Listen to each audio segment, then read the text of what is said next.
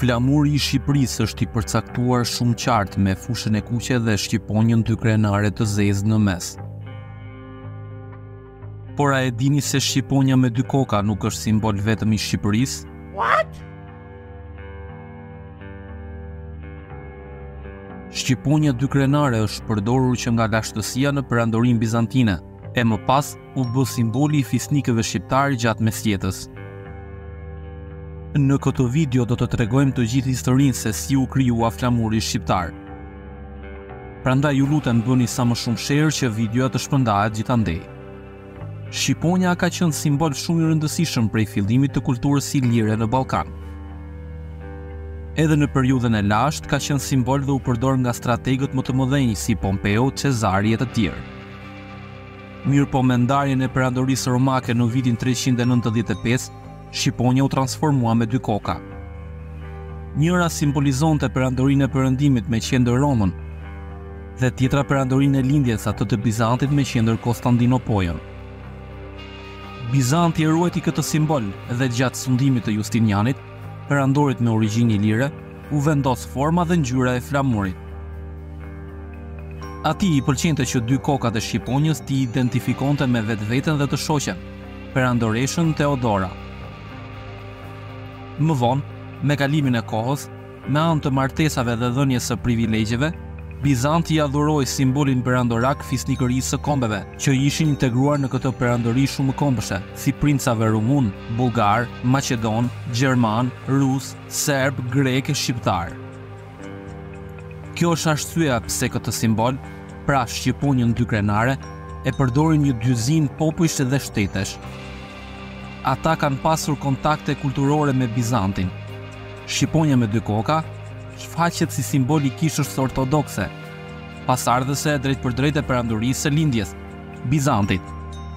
Flamuri bizantin ruhet sot në një nga manastiret e Malit të Shenjtë Athos në Greqi. Ngjyrat origjinale janë shqiponja e zezë me dy koka, e vendosur në një fushë të artë. Historianët e shohin shqiponjën me dy koka si simbol pushteti. Për herë të parë, është përdorur nga perandori Kostandin që ishte me origjinë iliro-shqiptare. Më pas, u bë traditë në të gjithë Ballkanin. Sipas historianëve, Flamuri u përdor edhe nga Skënderbeu për të treguar se ishte përfaqësues i sundimit paraosman. Por, si filloi të përdorej shqiponja në Shqipëri? Ajo u fitua fillimisht nga Princi Andrea i Dytë Muzaka. Me ndihmën e Balshajve dhe aleatëve të tjerë, ai theu në vitin një mijë e treqind e shtatëdhjetë, pranë Kosturit, mbretin serb, Vukashinin. Pas kësaj fitore të bujshme, perandori bizantin Joani i Pestë i konfirmoi atij titullin e despotit, pra princit, dhe i dhuroi stemën perandorake bizantine.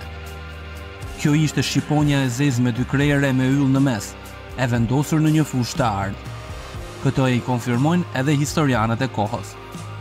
Në Shqipëri shqiponjën dykrenare e kanë përdorur familjet sundimtare shqiptare të Mesjetës, si Kastriotët, Arianitët, Muzakajt, Topijajt, Gjurashët, Lekë Dukagjini e të tjerë. Kjo dëshmon se këto familje kanë qenë funksionare të larta gjatë Perandorisë Bizantine. Për herë të parë në histori emblema e Gjergj Kastriotit me shqiponjë dykrenare shfaqet në vitin një mijë e katërqind e pesëdhjetë e një.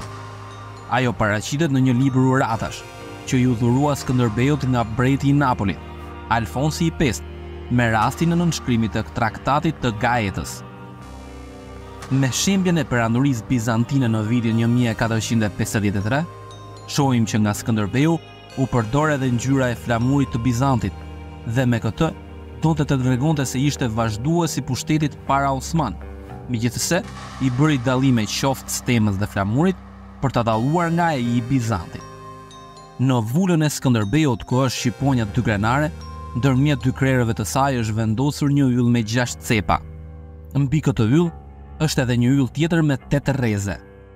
Pra, shqiponja dykrenare është përdorur masivisht nga sundimtarët si simbol pushteti. dhe mund të konsiderohet traditë romake bizantine.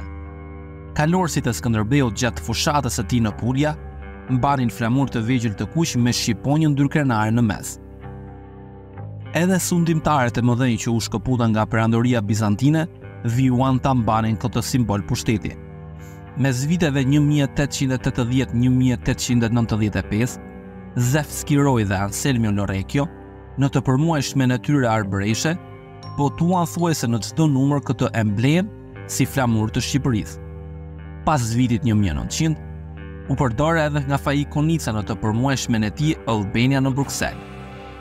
Gjatë kohës së rilindjes aktivistët e sajtë të gjitha feve e grupeve punonin dhe vepronin nën hijen e këtij flamuri, edhe pse ai nuk ishte i standardizuar deri në kohën e krijimit të shtetit të parë shqiptar.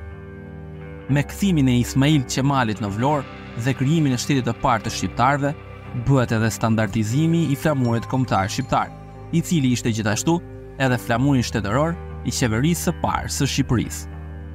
Faik Konica ishte i pari që ideoi se si duhet të ishte forma dhe përmbajtja e flamurit kombëtar në këtë periudhë. Kështu mund të themi në mënyrë të argumentuar se flamuri ynë, Flamuri i Skënderbeut është trashëgimi i ndikimeve romake e bizantine në Shqipërinë e shekujve të kaluar. Vetëm Shqiponja është ridimensionuar me kalimin e kohës, duke marrë një formë më të plotë e më të bukur, e cila i ka krijuar edhe origjinalitet të veçantë. Flamuri i ngritur ditën e njëzet e tetë nëntorit një mijë e nëntëqind e dymbëdhjetë në Vlorë, i cili kurorëzoi shpalljen e pavarësisë së Shqipërisë, ishte flamuri i Kastriotëve, i ruajtur prej tyre gjatë brezave dhe i sjellë në Shqipëri nga Eqrem bej Vlora, kushëriri i Ismail Qemalit. Fusha e kuqe ka domethënien e gjakut që kanë derdhur paraardhësit tanë, ndryshe lidhet dhe me trimërinë dhe fuqinë. Shqiponja me dy krerë, përfaqëson shtetin sovran të Shqipërisë.